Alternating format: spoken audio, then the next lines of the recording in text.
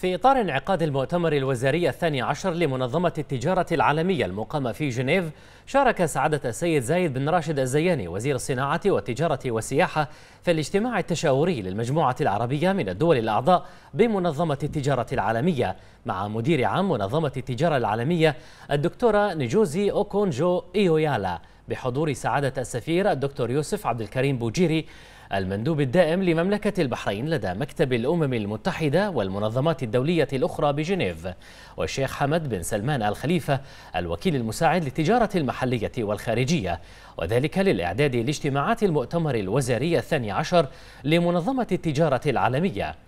حيث ستناقش مدير عام منظمة التجارة العالمية مع أصحاب السعادة الوزراء ورؤساء وفود المجموعة العربية المشاركين في المؤتمر الوزاري المنعقد في مدينة جنيف السويسرية خلال الفترة من الثاني عشر وحتى الخامس عشر من يونيو المخرجات المتوقعة لهذا المؤتمر. كما تسعى المجموعة العربية للوصول إلى اتفاق على سياسات تجارية تساعد على التعافي الاقتصادي في ظل الظروف الحالية مع مراعاة الاحتياجات التنموية للدول النامية والدول الأقل نمواً.